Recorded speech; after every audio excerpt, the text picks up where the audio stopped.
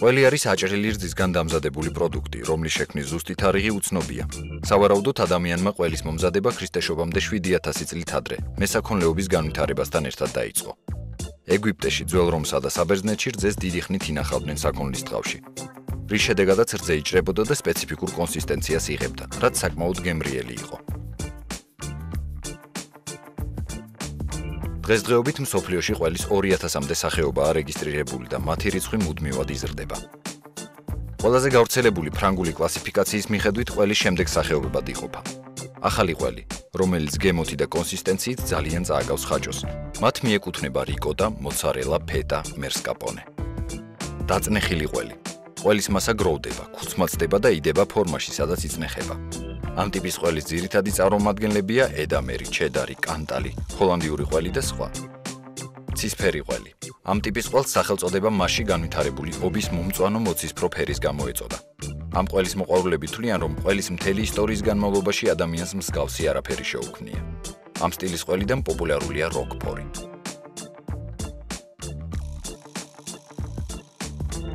რბილი ყველი ობიანი კანით. ერთ-ერთი ყველაზე პოპულარული ყველის სახეობაა. ასეთია ფრანგული ყველი ბრი და კამამბერი. ამ ყველს აქვს მონაცრისფრო შეფერილობა თეთრიობის ფენის ქვეშ. დაწნეხილი მოხარშული ყველი. ამ ჯგუფის ყველის თავები ძირითადად დიდია. მათ განმასხვავებელ თავისებურებას წარმოადგენს მოტკბოგემო და ნაზი არომატი. ამ ტიპის ყველის მნიშვნელოვანი წარმომადგენლებია პარმეზანი, კონტე, ბოფორი და სხვა.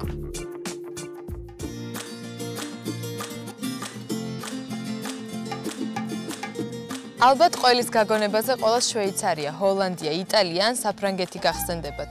თუმცა ამ ქვეყნების გვერდით საქართველოს უნდა მოიაზრებოდეს.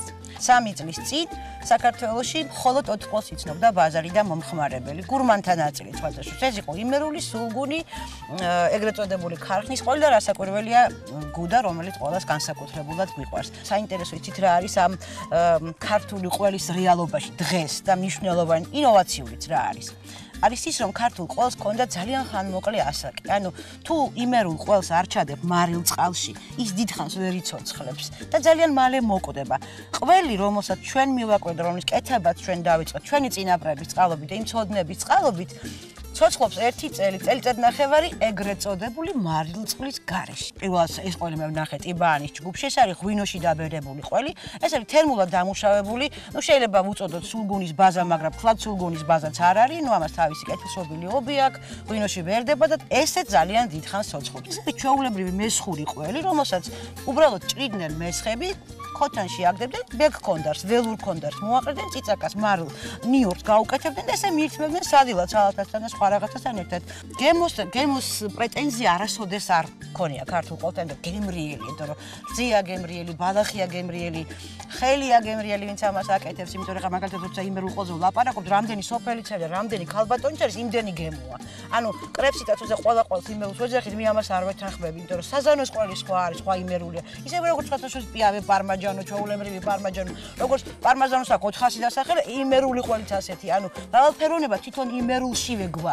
აი ამასაც ვიტყვი ამ ყოლსაც და მე შევუდგეთ დაგემოვნებას. ეს არის ჩაულებრივი ყოლი, ოღონდ ჩედარიზებული ყოლია, წყალია მისგან გამოდევნილი. ხალხს გონია რომ ყოლი თუ გამოშა, ყოლი გაფრთხა, არა, პირიქით მაშინ იწყებს ის ახალ ცხოვრებას. ამას აქვს როზმარი. მოდი რუსკა შენ ეს გასინჯე. სანამ მე შენ ღვინოს ჩამოგისხამ. და ცოტა ხანი დააყოვნე ეს ჩვენი საყვარელი ყველი. და მიაყოლე თითელი ღვინო. ნამდვილად უგემრიელი. აი ახლა რადგან ჩვენ თეთრი ყველი გასინჯე და ჯერ ნეიტრალურ მდგომარეობაში ხარ, მოდი გადავიდეთ ღვინის ყველის გასინჯვაზე. ჯერ შეხედე, ნახე როგორი ფერია. მოყვითალო შიგნით, გარედან ეს კანი აქვს, ეს ღვინო ამას კანს უკეთებს, თავის კანს უკეთებს და ბუნებრივ ვაკუუმს უკეთებს. ნახე როგორი ლამაზია, რა ფერია, შეხედე. გასინჯე?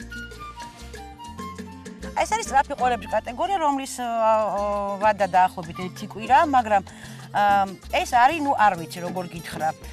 იმავე დღეს, როდესაც გამოგაქვს უფრაზე, ну, სუფრი დედოფლად შეიძლება ჩათვალო, იმიტომ რომ უგემრიელესით ბილი, ფაფუკი, საოცრად ნაზი შემადგენლობა არის ყველის და ნადუღის. აი ეს მინდა რომ გასინჯო ასევე, ცოტა დიდი ნაჭერი მომივიდა. შეიძლება ვერ მოერიოს ეს პატარა და გამხდარი გოგო. გასინჯო. ისე მთელი ჩემი წონა გამოწვეულია აი ამ ინტენსიური გემოების გასინჯვით, ასე თქვა. ეხლა კიდევ რა ხდება, იცით რომ თქვა ჩვენ ამოუწურეთ ჩვენი ეთნოფონდი და ყველაფერი მოვიძიეთ. სადაც დამთავრდება სიტყვაზე ჩვენი მეხსიერების რაღაცა ზვარი, იქ იწყება ადამიანის ფანტაზია. ყველა ახალი ყველი არის სული უფლება ნებისმიერ მეწარმე და ნებისმიერ ადამიანს.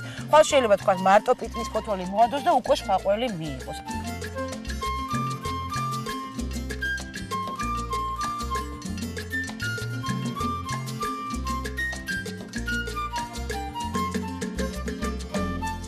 ასე რომ თამამად შეიძლება ითქვას საქართველოს ღვინოსთან ერთად ყველის სამშობლოცაა.